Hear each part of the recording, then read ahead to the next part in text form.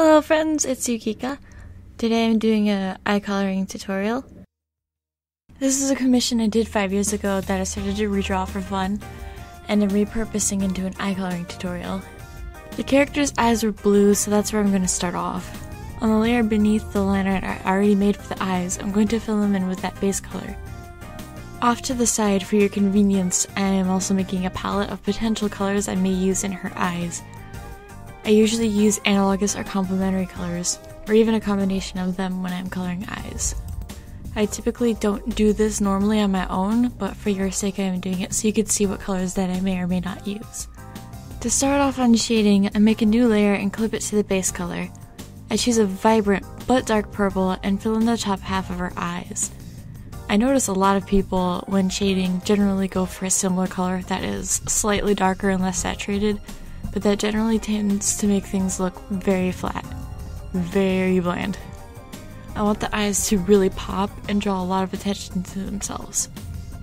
With the purple I choose, I'm going to blend and or blur it, depending on what you're using. For the pupils, I'm going to draw ovals in the centers of her eyes.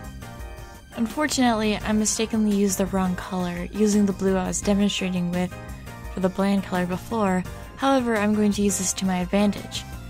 I drew over top of them with the purple that I meant to use, and now the eyes look more dynamic than if I hadn't used the wrong color on accident.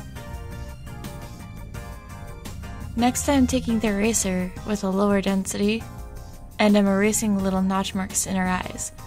In a strange way, this is replicating the details you would find inside the irises. Then with the same tool at the same settings, erase out some shines in the corners of the eyes. Please make sure when you are doing this to pay attention to your own light sources. For a little bit more depth, I'm using a dark blue around the eye shines I made, and then a more purple color to match the eyelashes a little bit better. On another layer, I'm going to borrow the lavender I have in the color palette I made, and create somewhat of a bar going through the middle of her eyes. Then I blur towards the top. At this point, you're probably very confused, and that is because I'm going to use this lavender to multiply on top of the other layers. Using hue saturation, I'm going to tweak the hue a little bit and make it slightly more purple. You can find this if you are using Paint Tool Sai in the filters option at the top. Using that same purple, I'm going to mimic the little notch mark details I was making before but this time I'm going to draw them in using that same lavender color. Making yet another clipped layer, I'm going to set it to luminosity and select a gold, almost even brown, color in the color picker. This is going to be the highlight, and instead of choosing yellow, I want something darker because luminosity will make yellow highlights too light and they will be pretty much white. I want more color out of this. I simply make some circles out of this color in the bottom of her eyes and blur it out. I also use lower opacity so it isn't quite as bright and provides a smooth gradient into the dark colors at the top of her eye. Next up is my own special little eye coloring technique that I've developed over the years of drawing Animu. I would recommend you, like I have, experiment a lot and find something that is your own and works for you. AKA Dismind Please Don't Steal Things. To start off, I create random circles in the eyes closer towards the bottom and sometimes towards the top. Using the eraser, I erase bits of the middle to make them look like bubbles. On another luminosity layer above that, I pretty much do the same thing but with smaller bubbles. After a few sparkles, her eyes kind of look like they belong to a mermaid or something. On top of that, with an overlay layer, I'm going to make more bubbles in yellow and blur some yellow into the bottom of her irises. This provides the yellow and blue complementary colors that make her eyes pop without looking out of place. The last aspect to coloring her irises is some final highlights, which I'm doing in purple. Since luminosity layers make things really bright, as mentioned before, I'm using a dark purple. However, for contrast of the eye shines themselves, I'm using an even lighter purple and blurring it into the bottom. Then I some more eraser middles out to create a bubble effect.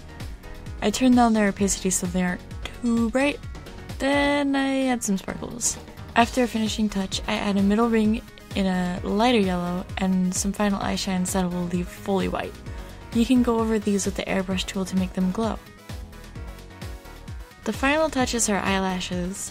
I do my liner initially in a brown color, which does not really match what I have going on so far at all. Using the darkest color I used in her eyes with the eyedropper, I airbrush onto the liner layer of my eyelashes more towards the center. Closer to the ends, I eyedrop another blue color from within the eye and airbrush the ends. Then I go over the ends again with a skin tone color or a pink color depending on the image, so that when I color the skin, her eyes will somewhat blend into the picture. The bottoms of the eyes will get a lighter color airbrush as well. I also make sure the line art by the eye shines are lighter, since it doesn't really make sense to have line art on top of a reflection of light.